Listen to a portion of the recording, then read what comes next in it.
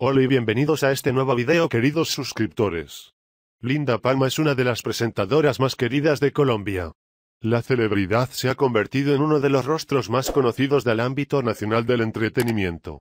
Es, además, una de las personalidades digitales con mayor número de fanáticos en el país. Cada posteo suyo, sea en Instagram, Facebook o Twitter, despierta comentarios de elogio y apoyo.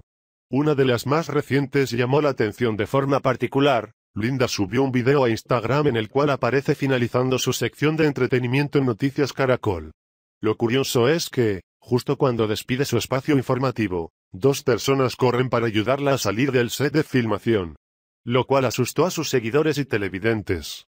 En 2006, cuando Linda tenía 21 años, se le diagnosticó esclerosis múltiple. Desde ese entonces Linda empezó a lidiar con el padecimiento a la par que consolidaba su carrera en el mundo del espectáculo. A mediados de 2017 tuvo un episodio complejo de salud relacionado con la enfermedad.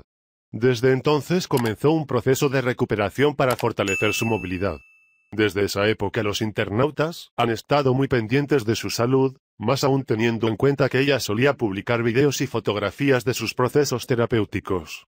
Durante este año no publicó mayores contenidos al respecto, sin embargo, el video reciente, en el cual aparece recibiendo ayuda para salir del set, encendió las alarmas de sus seguidores. A lo que ella explicó en sus redes sociales sobre su situación. Yo no puedo estar de pie porque tiendo a sufrir mareos o algo de vértigo. Sufrí una lesión premoral en el cerebelo en el 2016 y por eso todavía me cuesta un poco estar mucho tiempo de pie, puedo caminar sin ningún problema en tacones, gracias a mi fisioterapeuta, comentó Linda Palma. Asimismo, agradeció a sus seguidores por preguntar y por estar pendientes de ella. No olvides suscribirte, darle like y compartir con tus amigos. Tu canal Notifanáticos.